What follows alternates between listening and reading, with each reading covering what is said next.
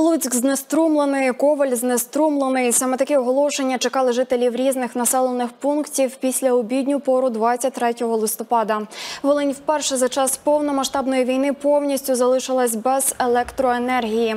В області перебої також зі зв'язком та водопостачанням. Втім, люди не втрачають ентузіазму та бадьорості. Війна в країні повинні пережити. Ну ми разом всі об'єднані з народом тримаємось. Звичайно, готувалися. Свічка є там. Думаю, протримаємося на добу. Точно витримаємо. Більшість супермаркетів та магазинів у Луцьку не працюють. Свічками в приміщеннях рятуються на автостанції та залізничному вокзалі, адже пасажири є. Заправні станції працюють частково, ті, де є генератори. Великих черг наразі немає, і справжній ажіотаж зараз у місцевих пунктах незламності.